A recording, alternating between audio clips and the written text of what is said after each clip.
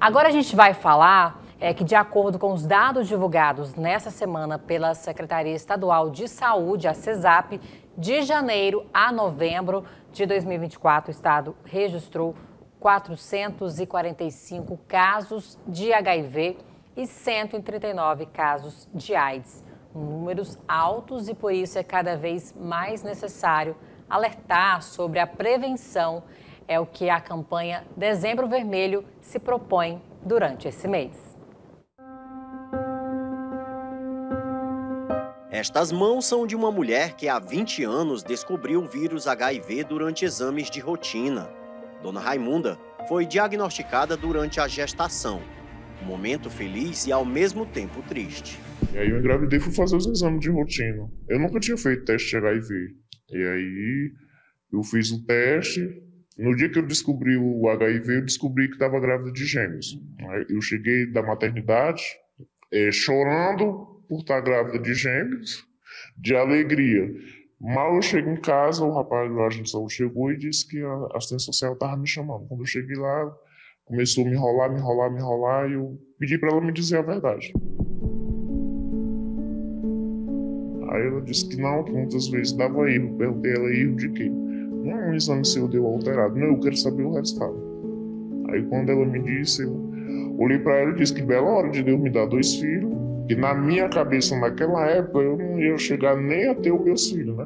Assim vivem milhares de pessoas em todo o país. Por isso, a importância de campanhas como o Dezembro Vermelho, dedicado à luta contra o HIV e a AIDS. Eu já tinha feito em torno de sete exames e sempre negativo. No oitavo, deu positivo. Eu tive a oportunidade, eu tive a oportunidade de conhecer o que era a doença, de vivenciar, tentar buscar conhecer mais o que era, o que, que eu podia fazer para viver bem, uma vez que o médico me disse que o HIV AIDS não matava. Hoje, os estados com maiores percentuais de casos à frente do Piauí são o Maranhão, com 13,9%, o Pará, com 13,8%, Pernambuco, com 11,2%, e o Rio de Janeiro com 11,2%. O Piauí ocupa a quarta posição no Brasil em relação à taxa de diagnóstico de HIV.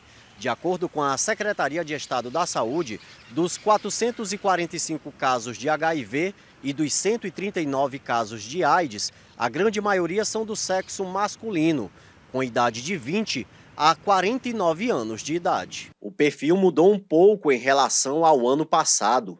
Em 2023, até novembro, haviam sido registrados 151 casos de AIDS em adultos, um número 7,9% maior que em 2024. A maior parte dos pacientes com diagnóstico da doença tinham entre 20 e 34 anos. Além disso, o mês também é um momento para disseminar informações importantes. Frequentemente usados juntos, os termos HIV e AIDS são diferentes, portanto, apresentam estatísticas distintas junto aos órgãos de saúde. Essa questão que muitas vezes as pessoas confundem, né?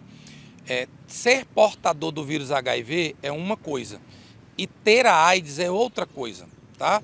Então, se a pessoa é portadora do vírus, ela tem o vírus no seu organismo, mas ela ainda não tem imunodeficiência, ou seja, a sua imunidade ainda não está comprometida. A partir do momento que o vírus começa a atacar o, o, o comando das defesas do organismo, que é invadir e destruir os chamados linfócitos T4 ou CD4, que comandam as nossas defesas, as nossas imunidades.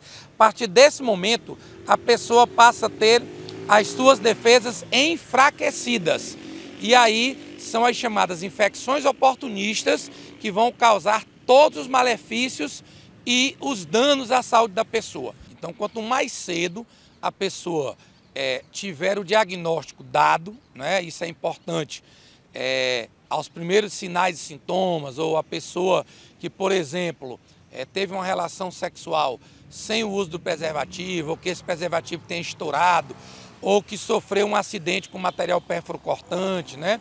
Essa pessoa tem que procurar imediatamente o serviço de saúde para que os profissionais médicos peçam os exames, né?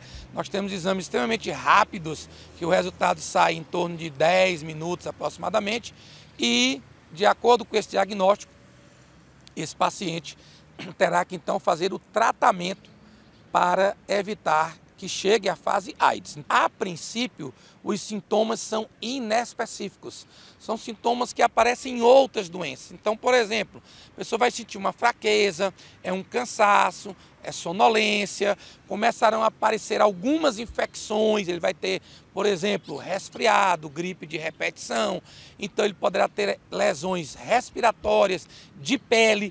Então, teve alguns sintomas assim que permanecem por um longo período, nós temos que procurar imediatamente o serviço de saúde para fazer os exames necessários e ter o diagnóstico de maneira precoce. E hoje, como é que a senhora vive? Eu vivo bem. Eu acho que é melhor do que, entre aspas, quem disse que não tem HIV. E tô ótimo, tô com a carga viral detectada relativa muito alta, mas minha médica trocou minha medicação, conseguimos controlar. Vivo bem, graças a Deus.